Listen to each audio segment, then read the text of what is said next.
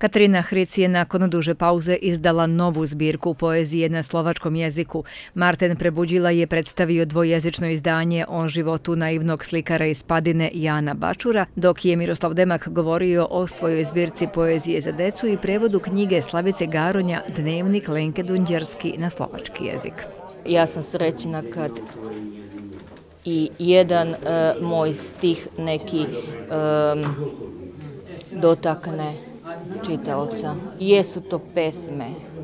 Pesme o, o e, smrti, o ali i o životu, o Bogu, o nadanjima. To je e, proza kao imitiran, odnosno e, reproduciran, izmišljeni, ali dosta logično, jako lepo, e, dnevnik Lenke Dunđerski ljubavi i inspiracije za Santa Maria della Salute. Nažalost, e, majstor Bačur e, jeste video knjigu, ali nije doživeo njenu prezentaciju koja je trebala da bude tačno na njegov 85. rođendan, 22. E, oktobra, preminuo je 12. oktobra, Pred Beogradski sajam knjiga izašla je zbirka poezije Opipavanje pulsa 2 Zdenke Valent Belić u kojoj je zastupljeno 30 autora, a čak devetoro je iz Stare Pazove panorama obuhvata žive pesnike raznih generacija od Daniela Pixiadesa koji živi u Kanadi, ima 91 godinu,